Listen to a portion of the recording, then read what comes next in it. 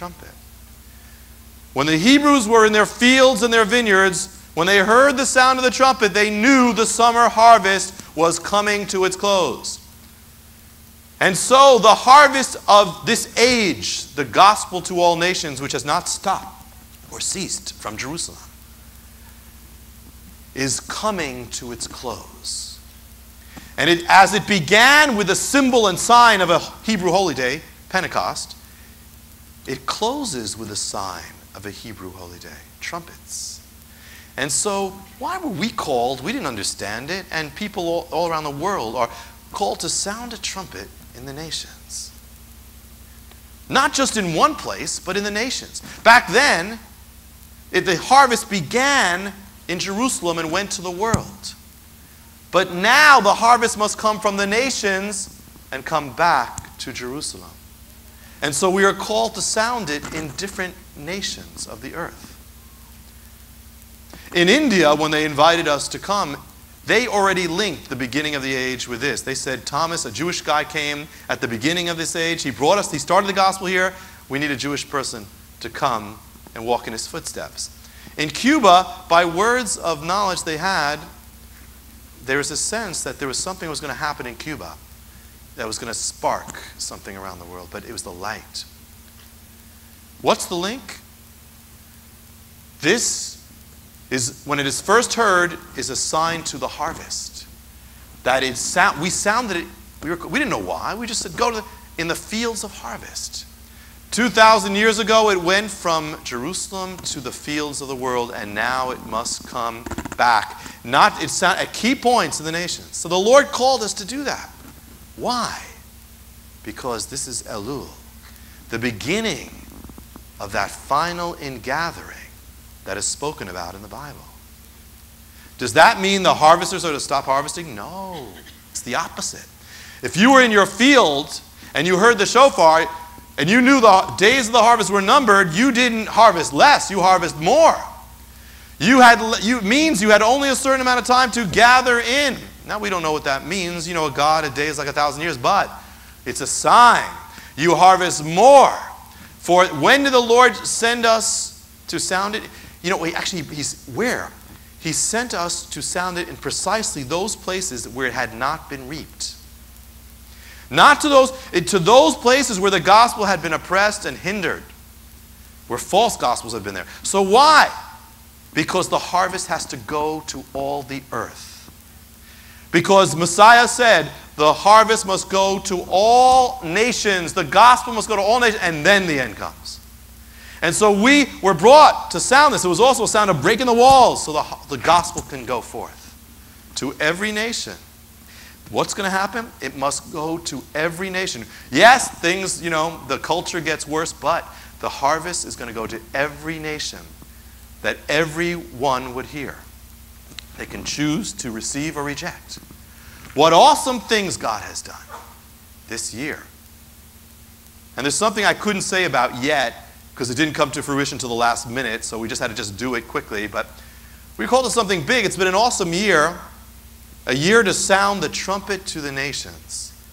Yesterday was the first day of the Feast of Trumpets, the, the actual thing. And something unprecedented happened. In the center of all nations of earth, the United Nations, which is the meeting point, op- they opened their international grounds up for the sounding of the shofar.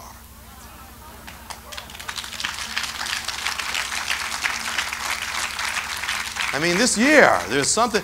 Yesterday, by God's hand, an unprecedented thing, I, I, and I was called to sound the shofar in the United Nations, in the grounds of the United Nations, as believers were gathered, to pray as they were praying. I, we didn't come up with this meeting. It happened with other believers from around America. They came to pray for God's move on the nations.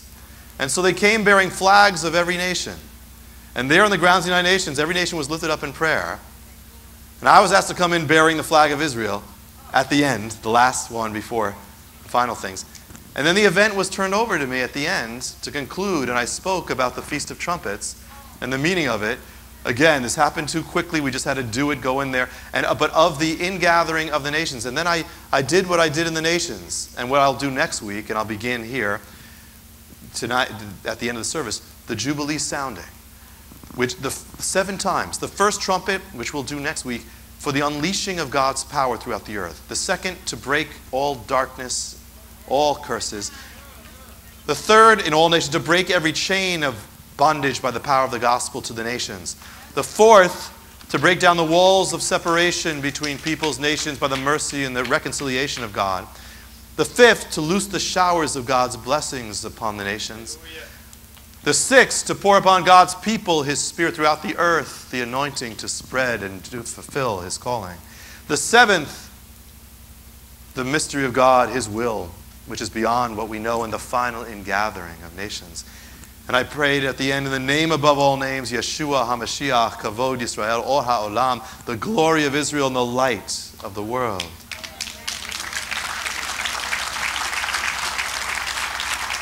Who could have arranged this? We didn't arrange it. We didn't arrange this year. Only God. It was fitting that I thought after He ordained that the year of beginning sounding the trumpet to the nations, that of all days, on the holy day called the, the Day of Trumpets, the ancient shofar would be sounded of all places in the very center of all nations and all governments of the earth, the United Nations, and the Feast of Trumpets. And they allowed it.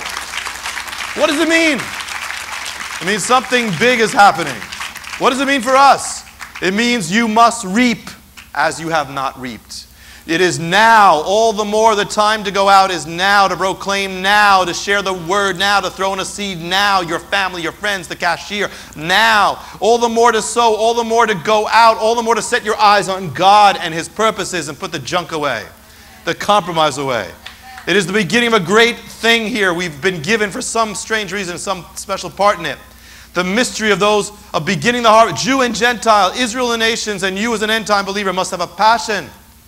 Conclusion the shofar tells us these are the appointed days, the days of completion, the days of destiny, the days of repentance, the days of the return, the days of the closing of the summer harvest, the days of victory for God's people and strength and power given to those who go out, the days of awe, awesome days and you've been called to, to, be, to be born in this day and to be saved in this day. You are appointed for the appointed days to rise to it. For when the trumpet sounded, his people rose. It says, when the trumpet sounds, the dead will rise. So, how much more we, we need to rise? If these are the days of the trumpet, these are the days of rising. How much more we must rise to the call Rise to your call. Rise to praise. Rise to worship. Rise to the good fight. Rise to victory. Rise to prophecy. Rise to your appointed destiny, for you have been called to do great and mighty things, for you have been chosen to live and to rise to the call in the days of the end time. Shofar, mystery, days.